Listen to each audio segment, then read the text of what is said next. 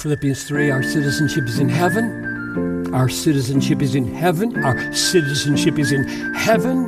And from it we await a Savior who will transform our lowly bodies to be like His glorious body by the power that enables Him to subject all things to Himself.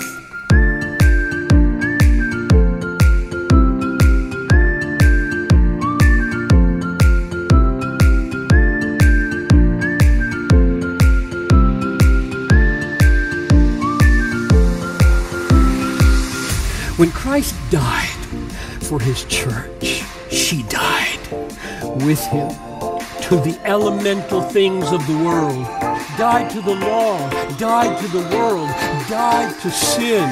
Then she rose.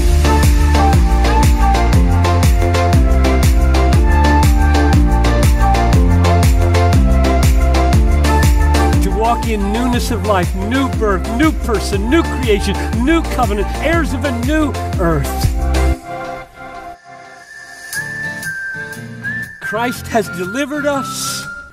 Christ has delivered us from the domain of darkness and transferred us into the kingdom of his beloved Son.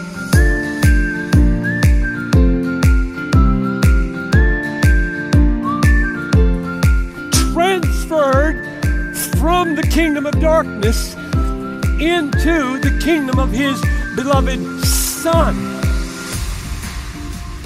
We have passed from death to life. We are seated with Christ in the heavenly places. This is why we are fundamentally free from human institutions. We've already died.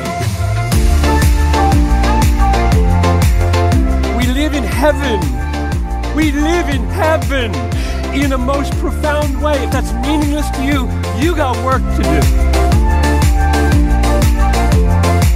You got work to do on your Bible, in your heart, and your head, and your life. It's not meaningless. It's profoundly transforming of everything.